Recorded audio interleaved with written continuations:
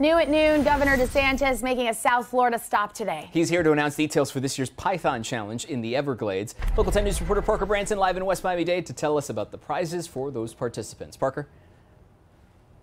Geo, good afternoon. It is so important to protect our Everglades, and these pythons are destroying them.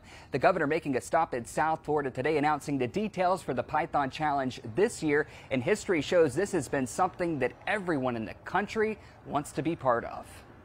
Registration is now open for the 2022 Florida Python Challenge. Let's get it started. The 2022 Python Challenge is on the horizon. Last year, 223 pythons were removed from the Everglades, and more than 600 people participated from over 25 different states. The hype expanding beyond South Florida. Everyone wants to see if they can get their hands on this elusive, invasive species.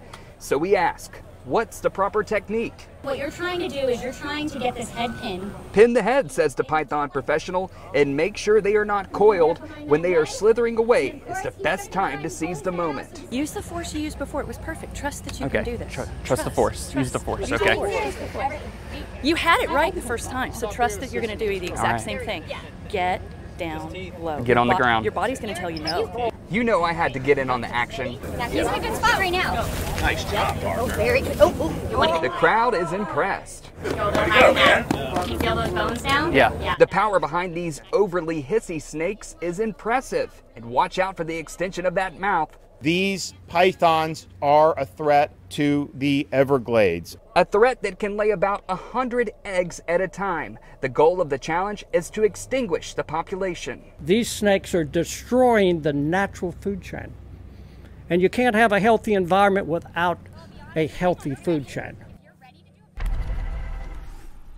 So registration is open right now. The Python Challenge this year will begin on August 5th. Now there's categories for different tiers of prizes. The top prize for the most pythons captured, $2,500. We're live in West Miami-Dade. I'm Parker Branton, Local 10 News. Wow, Parker, you should participate in that. That was impressive. We were impressed too, not just the crowd. and we know you were impressed with yourself. Don't think we didn't notice the crowd was impressed, as they should have been. So